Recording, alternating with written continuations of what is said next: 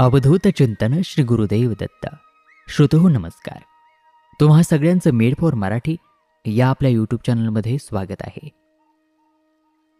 श्रोतो दत्तगुरू खरोखरच खूप कृपाळू आहेत दयाळू आहेत. एकदा का शुद्ध अंतकरणाने त्यांना सर्वस्व अर्पण केलं की मग सर्व काही मंगलमय होऊ लागतं. एवढंच नव्हे तर वेगवेगळ्या ठिकाणी वेगवेगळ्या रूपामध्ये दर्शन देऊन त्यांच्या अस्तित्वाची जाणीव ते आपल्याला करून देतात. त्यांच्या दिव्यत्वाची प्रचिती आपल्याला येते. असाच काहीसा गाणगापूर दर्शनाचा एक दिव्य असा अनुभव आज आपण श्रवण करणार आहोत. आजचा हा अनुभव आपल्याच मेडफॉर मराठी परिवारातील एका दत्तभक्तांचा आहे जो आपण श्रवण करणार आहोत. चला तर श्रवण करूया त्यांचा हा दिव्य असा गाणगापूर दर्शनाचा अनुभव त्यांच्याच शब्दांमध्ये पण तत्पूर्वी आपल्यासोबत असे काही अनुभव घडून आलेले असतील तर ते आपण आम्हाला पाठवू शकता. आम्ही ते आपल्या हजारो दत्तभक्तांपर्यंत पोहोचवण्याचं कार्य करू. दिलेल्या व्हॉट्सअप नंबरवर किंवा ईमेल आय डीवरती आपण आपले अनुभव पाठवा आणि हो आपल्या चॅनलला सबस्क्राईब करून हा व्हिडिओ जास्तीत जास्त शेअरसुद्धा अवश्य करा. चला तर सुरू करूया आजच्या या दिव्य अशा अनुभवाला. श्री गुरुदेव दत्त. नमस्कार. गिरणार झाले औदुंबरवाडी झाले नरसोबावाडी झाले आणि इतरही छोटे मोठे दत्त ठिकाणाला दर्शनासाठी भेट देऊन जीवन सार्थक झाले. पण आजपर्यंत मनात असून पण गाणगापूरला जाणे मात्र झाले नाही. नेहमी महाराजांना प्रार्थना करायचो की लवकर तुमच्या निर्गुण पादुकांचे दर्शन करण्यासाठी गाणगापूरला बोलवा महाराज. पण ते म्हणतात ना की तुम्ही कितीही प्लॅनिंग करा पण महाराजांची इच्छा झाल्याशिवाय तुम्ही त्यांच्या दर्शनासाठी जाऊ शकत नाही. आणि माझ्या बाबतीतही तेच झाले. नेहमीप्रमाणे गुरुवारी दत्त मंदिरामध्ये आम्ही महाराजांची पालखी सजवत होतो. पालखी सजवताना आमच्या गप्पा सुरू होत्या. आणि अचानक गाणगापूरचा विषय निघाला. मी बोललो की माझी गाणगापूरला जाण्याची खूप इच्छा आहे पण आजपर्यंत योग काही आला नाही. तर माझ्यासोबत पालखी सजवण्यासाठी जे दादा होते ज्यांच्याकडून मी पालखी सजवण्याचे शिकतोय ते बोलले की चला आपण जाऊया गाणगापूरला. आणि तिथून सुरुवात झाली गाणगापूरला जाण्याच्या प्लॅनिंगची. तेवीस आणि चोवीस जुलै हे दोन दिवस ठरले. मग तेव्हापासून सारखे वेध लागले होते ते गाणगापूरला जाण्याचे. मी ऑनलाईन ट्रेन बसचे रूट पाहिले. मंदिरातील जे अनुभवी मंडळी आहेत त्यांना विचारले. आणि मग गाणकापूर आणि सोबतच अक्कलकोट जाण्याचे पूर्ण शेड्यूल मी बनवले. माझ्यासोबत जे दादा येणार होते ते याआधी गाणगापूरला जाऊन आले होते. त्यामुळे त्यांना तेथील भेट देण्याच्या सर्व क्षेत्राबद्दल माहिती होती. म्हणूनच मी निर्धास्त होतो. ते सांगतील त्या पद्धतीने पुढे चालायचे एवढेच ठरले. परंतु दत्तभक्तीमध्ये परीक्षाही ठरलेलीच असते. आणि त्याचा अनुभव ह्यावेळी देखील मला आला. आमचे ज्या दिवशी गाणगापूरला जायचे ठरले होते त्याच्या दोन दिवस आधी माझ्यासोबत जे दादा येणार होते त्यांना काहीतरी काम निघाले. आणि त्यांना गाणगापूरला येणे जमणार नाही असं समजले. माझा तर खूप हिरमोड झाला कारण सगळं प्लॅनिंग झालेलं होतं आणि मी खूप उत्सुक देखील होतो. पण त्यांनी माझी समजूत काढली आणि म्हणाले की आपण लवकरच जाऊ पुन्हा गाणगापूरला. यावेळी महाराजांची इच्छा दिसत नाही आपल्याला गाणगापूरला बोलावण्याची. पण माझे मन काही केलं ऐकतच नव्हते. सारखी ओढ लागली होती गाणगापूरला जाण्याची. ते पुढील दोन दिवस माझ्या मनाची खूप घालमेल झाली. त्यातच माझ्या चार वर्षाच्या मुलाला ताप सर्दीचा थोडा त्रास सुरू झाला. पण ध्यानी मनी सारखे गाणगापूर गाणगापूर हेच चालले होते. मनाला एक वेगळीच हुरहुर लागली होती. आणि दुपारी अचानक माझ्या गुरुआईचा म्हणजे माझे जे गुरु होते ज्यांचे मागील दीड महिन्यापूर्वीच देहावसन झाले त्यांच्या पत्नीचा मला कॉल आला आणि त्या मला म्हणाल्या की मी गाणगापूरच्या गुरुजींचा नंबर तुला देते. गुरुजींसोबत मी बोलली आहे. त्यांना सांगितले आहे की दत्ता महाराजांचा एक शिष्य आहे. तो गाणगापूरला येणार आहे. तर तो तिकडे आल्यावर तुम्हाला कॉल करेल. त्याला व्यवस्थित मार्गदर्शन करा. आणि बस. तेव्हाच ठरले की आता गाणकापूरला जायचं. माझे गुरु जरी या जगामध्ये नसले तरी माझ्या गुरुआईच्या माध्यमातून त्यांनी मला सुचवले की तू बिंदास जा गाणगापूरला महाराज सगळं व्यवस्थित करतील. आणि माझं गाणगापूरला जाण्याचं ठरलं. वेळ दुपारी तीनची आणि संध्याकाळी साडेसहा वाजता मला नाशिकवरून कल्याणसाठी ट्रेन होती. आणि मग कल्याणवरून रात्री अकरा वाजता गाणगापूरसाठी ट्रेन होती. काहीच तयारी नसताना पटपट बॅग भरली आणि कल्याणवरून ट्रेनचे रिझर्वेशन चेक केले तर फुल होते. तेरा वेटिंग लिस्ट दाखवत होते. आता जायचेच ठरले आहे तर मग कसेही जाऊ असा विचार केला. दत्तप्रभूंना नमस्कार केला प्रार्थना केली आणि मी घरातून बाहेर पडलो. दिनांक तेवीस जुलै संध्याकाळी साडेसहा वाजताची तपोवन एक्सप्रेस पकडली आणि कल्याणला निघालो. ट्रेनमध्ये बसल्यावर एकदा सहज मनामध्ये विचार आला आणि म्हटलं चला की एकदा कल्याण ते गाणगापूर रिझर्वेशनचं स्टेटस काय आहे ते चेक करूया. आणि आश्चर्य बघा करंट अवेलेबिलिटीमध्ये तीन ए सीचे एक नाही दोन नाही तर तब्बल चौतीस तिकीट अवेलेबल होते. खरंच महाराजांचीच ती कृपा आहे. ते परीक्षा घेतात पण आणि आपल्या भक्ताला कोणताही त्रास न होऊ देता अलगदपणे त्या परीक्षेतून बाहेरही काढतात. आणि मी लगेचच कल्याण ते गाणगापूरचे तिकीट बुक केले. रात्री साडे नऊ वाजता कल्याणला पोहोचलो. तिथे जेवण केले आणि रात्री अकरा वाजताच्या ट्रेनने गाणगापूरसाठी प्रस्थान केले. ट्रेनमध्ये माझ्या सीटवर जाऊन बसल्यावर मागील पंधरा वीस दिवसांपासून जे काही सुरू होते ती एक एक गोष्ट मी आठवत होतो.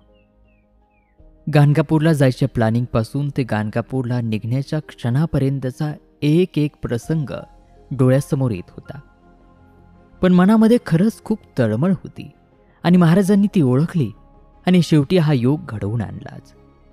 सीटवर झोपल्या झोपल्यास महाराजांना मनातून नमस्कार केला आणि म्हणालो उद्या भेटूया महाराज.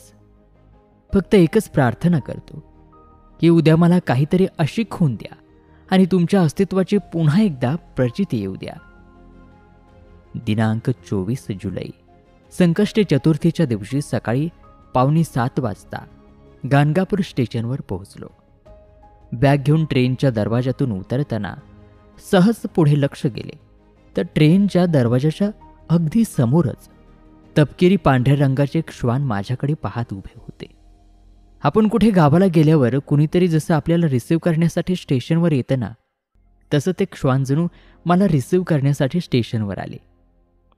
मी खाली उतरलो आणि त्या श्वानाकडे पाहिले. ते पण माझ्याकडे पाहून शेपूट हलवत होते. मनातूनच त्याला नमस्कार केला आणि स्टेशनच्या बाहेर आलो. मी गाणगापूरला पहिल्यांदाच आलो होतो. कुठून कसे जायचे ह्याबद्दल मला फारसे काहीच माहीत नव्हते. बाहेर आलो सगळे रिक्षावाले जीपवाले एकतर शुद्ध कानडी किंवा कानडी टोनमध्ये मराठी बोलत होते. मी एका जीपमध्ये बसलो आणि गानकापूर बस स्टँडला उतरलो. तिथून मला संगम रोडवर जायचे होते. कारण स्वामी समर्थ सेबेकरी निवासमध्ये मी आधीच कॉल करून एका रूमचे बुकिंग केले होते. संगम रोडवर जाण्यासाठी बस स्टँडवरून दुसऱ्या रिक्षामध्ये बसलो. मी समोर ड्रायव्हरच्या डाव्या बाजूला बसलो होतो. थोडंसं पुढं गेल्यावर पिवळ्या रंगाचे सोवळे नेसलेला कपाळावर भस्म लावलेला जेमतेम तीस बत्तीस वर्षांचा एक तरुण ड्रायव्हरच्या उजव्या बाजूला येऊन बसला. मी ड्रायव्हरला विचारत होतो की आता कसे कुठे जायचे? तर तो सोवळे नेसलेला तरुण माझ्याशी बोलू लागला. त्याने मला सांगितले की आधी तुम्ही संगमावर जा दर्शन घ्या. मग तिथून निर्गुण मठामध्ये या. दुपारची आरती करा. माधोकरीचा प्रसाद घ्या आणि मग कल्लेश्वरला जा. तुमची यात्रा पूर्ण होईल. नाहीतर आधी आत्ता माझ्यासोबत चला. मी अष्टतीर्थासाठी चाललो आहे. आपण सोबतच अष्टतीर्थ करू. मी बोललो की चालेल मला पण मला आधी सेवेकरी निवासमध्ये जाऊन स्नान करून तयार व्हावे लागेल. पण तेवढा वेळ त्यांच्याकडे नव्हता म्हणून ते पुढे निघून गेले. मी सेवेकरी निवासजवळ रिक्षातून उतरलो आणि तो पिवळे सोभळे नेसलेला तरुण माझ्याकडे पाहून सुंदर हसला आणि रिक्षा संगमस्थानाच्या पुढे गेली. मी विचार करत होतो की ह्या तरुणाने काही मिनिटातच मला किती व्यवस्थित मार्गदर्शन केले. मला गाणगापूरला गेल्यावर कुठून कुठे जायचे कोणत्या क्रमामध्ये दर्शन घ्यायचे हे सर्व त्याने सुचवले. मी रिक्षातून उतरल्यानंतरचे त्यांचे ते स्मित हास्य अजूनही माझ्या डोळ्यासमोर येते. त्यानंतर मी श्री स्वामी समर्थ सेवेकरी निवासामध्ये रूम घेतली. तिथे स्नान केले आणि तेथून संगमस्थानाकडे निघालो. रिमझिम पाऊस सुरू होता आणि मी संगमावर पोहोचलो. नदीला छान पाणी आलेले होते. प्रसन्न वातावरण होते. फक्त एकाच गोष्टीचे थोडे वाईट वाटत होते की येणाऱ्या भाविकांनी तिथे अजिबात स्वच्छता ठेवली नव्हती. नदीपात्रावर घाण करू नये स्नान केल्यावर तिथेच कपडे टाकू नये अशा सूचना लिहिलेल्या असून देखील लोकांनी तेच केलेले होते. मी ह्या सर्व गोष्टींकडे दुर्लक्ष करून नदीकडे जायला निघालो. तेवढ्यामध्ये एक काकू माझ्या बाजूने आल्या आणि मला म्हणाल्या कुठून आला आहेस बाबा? नवीन दिसतोस. मी म्हणालो नाशिकवरून आलोय काकू. तर त्यावर त्या म्हणाल्या पुढे जाऊ नकोस बाबा. इथेच हातपाय धुवून घे. दोन तीन दिवसांपूर्वीच एकजण नदीमध्ये गेला होता. तो काल मृतावस्थेत तिथे बाजूला सापडला. आणि तोही काही नवीन नव्हता. नेहमीच तिथे येणारा होता. पण कसा काय बुडाला दिवसाने? मग मी तिथेच हातापायांवरती पाणी घेतले. डोळ्याला पाणी लावले. आणि भीमा अमरच्या मातेला नमस्कार करून बाहेर पडलो. मी नदीमध्ये थोडं पुढं जाण्याचा विचार करत असताना त्या काकूने काय यावे? मला पुढे न जाण्यासाठी काय सांगावे? हे सगळं काही जणू महाराजांस मार्गदर्शन करत असल्याची जाणीव मला झाली. एक आई जशी आपल्या मुलाच्या हितासाठी काय योग्य आणि काय अयोग्य यावर लक्ष ठेवून असते तशीच काळजी जणू काही महाराज आपल्या भक्तांची करत असतात. संगमापासून उभर जाताना औदुंबर वृक्ष आहे. या वृक्षामध्ये साक्षात दत्तप्रभूंचा वास आहे. या ठिकाणी गणपतीची मूर्ती आणि पादुका स्थापन करण्यात आलेल्या आहेत. हजारो भाविक या औदुंबर वृक्षाला प्रदक्षिणा घालून व्याधीमुक्त झाले आहेत. आपणास कधी गाणगापूर येथे जाण्याचा योग आला तर संगमस्थानावरील औदुंबराला अकरा एकवीस एकशे आठ प्रदक्षिणा नक्की घालाव्यात अनेक सिद्ध भाविक गुरुचरित्र या जागृत ग्रंथाचे येथे पारायण करतात. तिथे जाऊन मी देखील गुरुमंत्राचा जप करत प्रदक्षिणा घातल्या. मंदिरामध्ये जाऊन महाराजांचे दर्शन घेतले आणि तिथून बाहेर पडलो. पाऊस सुरू होताच बाजूलाच भस्माचा डोंगर आहे. तिथे गेलो तर पूर्ण चिखल झालेला होता. आतमध्ये जाताना एक आजी तिथे बसल्या होत्या. त्या मला म्हणाल्या अरे बाबा खूप चिखल झालेला आहे. सांभाळून जा. कसंबसं स्वतःला सावरत मी आतमध्ये गेलो. एका पिशवीमध्ये तिथलं भस्म भरून घेतलं. आणि परत येताना पाय घसरला. आणि मी तिथेच पडलो. पूर्ण कपडे हातपाय चिखलाने भरले. पण इजा मात्र कुठेही झाली नाही. ज्या आजी मला आतमध्ये जाताना सांभाळून जायला सांगत होत्या त्यांनी मला पडताना पाहिलं आणि त्या मला म्हणाल्या तुझ्यावर आलेलं संकट निघून गेलं बाबा. महाराजांनी तुला इथेच पाडून घेतलं. त्या आजीच्या या बोलण्याने मला मात्र विचारात पाडलं. मनातल्या मनात मी महाराजांना बोललो महाराज तुम्हाला किती काळजी आहे? माझ्यासारखे का अगदी साध्या भक्ताची सुद्धा करते करविते खरंच तुम्हीच आहात ह्या दासावर कायम अशीच कृपा असू द्या महाराज. तिथून मग मी पुन्हा सेवेकरी निवासमध्ये गेलो आणि फ्रेश होऊन कपडे बदलून निघालो. ते निर्गुण मठामध्ये जाण्यासाठी. मठाकडे जाताना एक वेगळीच ओढ जीवाला लागली होती. ज्याची मी इतक्या वर्षांपासून वाट पाहत होतो तो क्षण आता आला होता.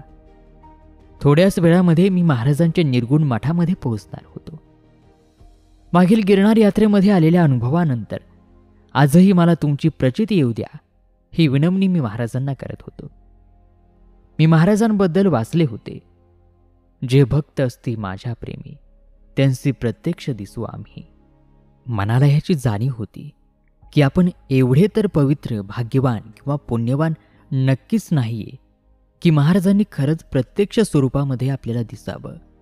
पण छोटीशी का होईना त्यांची प्रचिती ह्या गाणगापुरात यावी एवढीच प्रार्थना करत होतो. शेवटी निर्गुण मठाजवळ पोहोचलो. कळसावरील श्रीदत्त हे नाव वाचले आणि डोळे भरवून आले. जे नाव आणि जो कळस आजपर्यंत फक्त फोटोमध्ये पाहत होतो. आणि मला पण लवकर दर्शनासाठी बोलवा अशी विनवणी वर्षानुवर्ष करत होतो.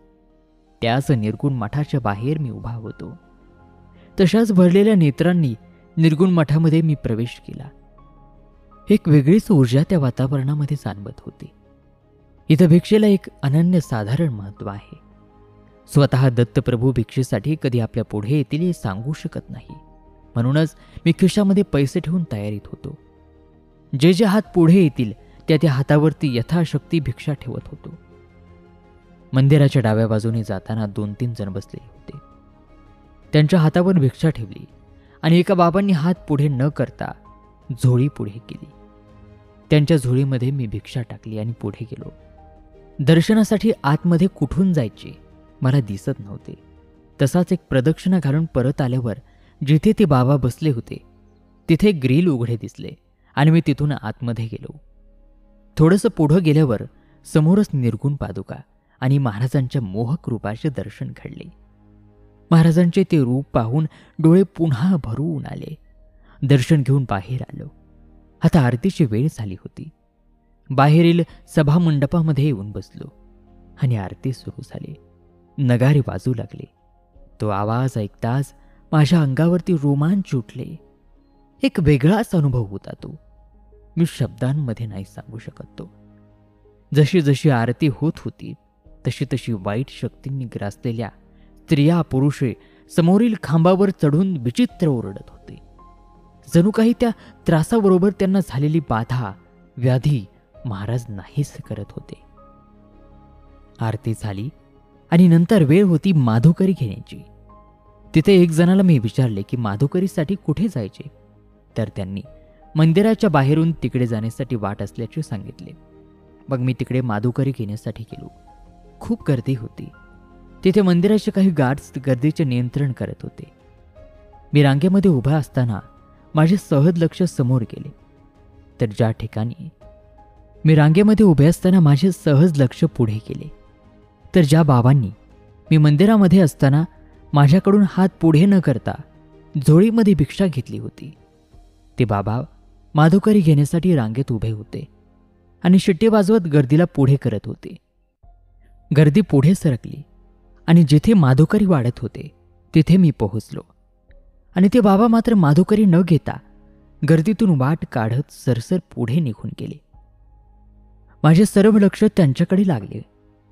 मी घाईघाईतच माधुकरी घेतली आणि त्यांच्या मागे गेलो. काखेमध्ये भगवी जोळी हातामध्ये कमंडलूसारखा स्टीलचा कडीचा डब्बा डाव्या हातामध्ये काठी लांब पांढरे केस आणि दाढी आणि एवढे वय असून देखील ते बाबा एकदम जोरात चालत पुढे गेले. मी त्यांचा पाठलाग केला आणि त्यांना आवाज दिला पण त्यांनी काहीच प्रतिसाद दिला नाही. शेवटी मी धावत त्यांच्याकडे गेलो आणि त्यांना पुन्हा आवाज दिला बाबा तुम्ही माधुकरी का नाही घेतली? त्यावर ते फक्त एवढंच म्हणाले कोड भात संपला ना. मग मी त्यांना म्हणालो की तुम्ही कधी जेवता आता? ते म्हणाले अजून बरोबर अर्धा तासानं जेवेल.